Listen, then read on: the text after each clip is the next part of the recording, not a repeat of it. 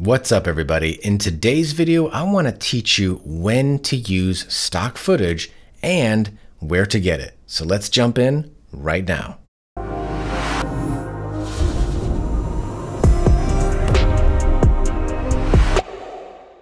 One thing to consider when you are making your videos is that you do not have to be confined in this room. You don't have to be filming yourself here and that's all you show the audience. You can go outside and film things and do things, but what if you can't travel? What if you can't go to Antarctica? What if you can't be on a boat? What if you can't be in a plane? You don't have to be. You can find stock footage to tell incredible stories. For instance, I love to teach entrepreneurs how to make affiliate networks. And affiliate networks is very similar to spider webs. And I saw one outside the other day. My wife says, "We need to get rid of this. This is we can't have this here." And I kind of felt bad because this spider worked so hard on his web, and it made me a little bit sad to destroy something that he worked so hard to build because I related it to my life. I built an affiliate network and it took a long time to build it. What if someone came along and destroyed that in one shot? It would be upsetting.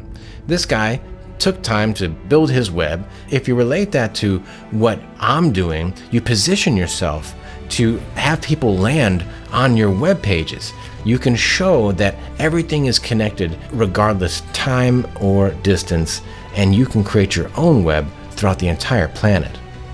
Now, when you're making your own videos, don't think that you're confined to a room. Think to yourself, how can I leverage stock footage?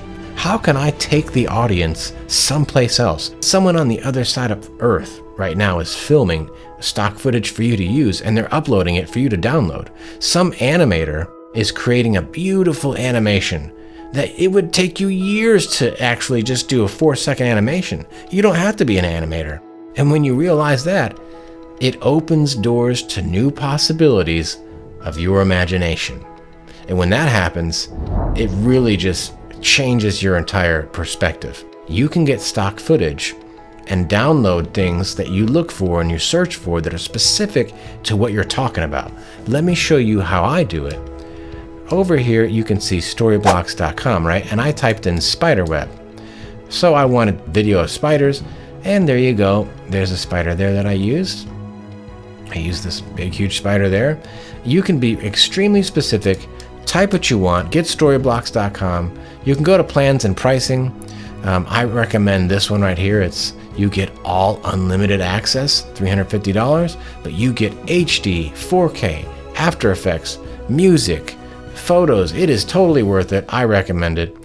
Um, so I hope this has been helpful. If it has, subscribe, like, and ring the bell so you can be notified of future videos when they come out. Remember, you have the power of imagination and stock footage to take your audience anywhere you've ever dreamed of. I'll see you in the next video.